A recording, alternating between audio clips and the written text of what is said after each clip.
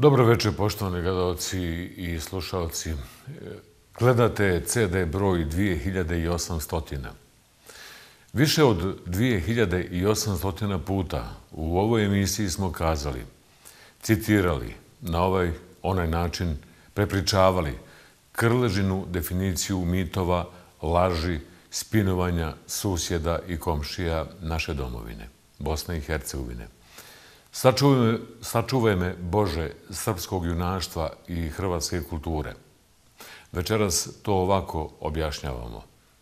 Sačuvaj, Bože, ovu zemlju od peksine politike hrvatskog predsjednika i srpskog predsjednika. Nije nacionalizam, a ako i jeste, onda nije nacionalni nacionalizam, već novinarski, sa argumentima i bosanski, nadnacionalni. Naučno dokazan. U anketama svjetskih agencija dokazan. Bosanci, svi mi zajedno, bez obzira da li smo bošnjaci, srbi, hrvati, građani, miješani, došljaci, kopilad iz miješanih brakova, vlasi, čafiri, heretici, bogumili, krstjani, nevjernici i vjernici. Mi smo dokazano, naučno i istraživački svi najčistija nacija u Evropi. Imamo najbolje, za nas normalne, higijenske navike. Je li ovo rasizam? Čista nacija. Da, rasizam na koji smo ponosi.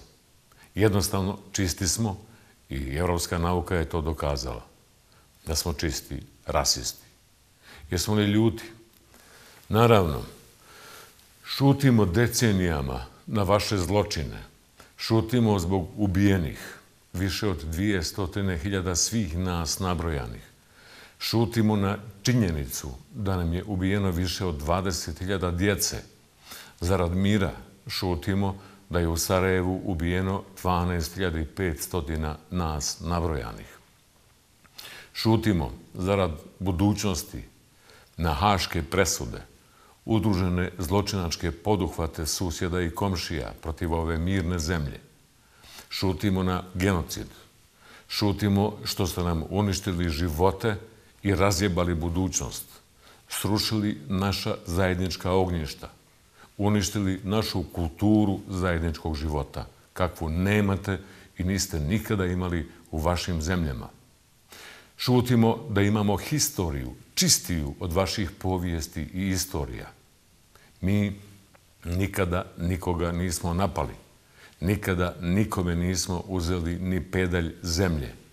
Nikada nismo dolazili u vaše prostore da vam ubijamo djecu, silujemo žene, niti da vas pljačkamo. I zato što šutimo, dobri smo što zaslužujemo. Poruku, više puta ponovljenu, peksini smo, prljavi, treba nam sapun i parfem. Sram vas bilo. Sram te bilo, Zorane Milanoviću. Da si Hrvat, pravi, znao bi da je ova zemlja i njen glavni grad plakao za Vukovarom kada je pao. Gdje si ti bio kada je on pao? Da si pravi Hrvat, znao bi da su Hrvati prvi primili Bošnjake izbjeglice. 90 druga godina. Da si pravi predsjednik na toj emociji bi gradio odnose između dvije države, a i tri naroda, a ne bi upao u onu politiku koja je ovu zemlju razvalila. Politiku krvi, tla, vjere i nacionalizma. Da si pravi predsjednik, znao bi da ovi kojima preporučuješ sapun su navijali za Hrvatsku u nogometu u Rusiji. Zorane, procedura pranja higijenska navika u nas sapuna i parfema ide ovako. Obrišeš stražnicu, možda na hrvatskom guzicu, papirom, ispereš vodom. Ako ti je to komplikovano, jednostavno se istušireš. Tako se čisti stražnica.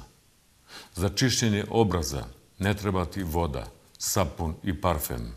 Treba samo izvinjenje, ako si čovjek i ako imaš obraza ako imaš šta oprati.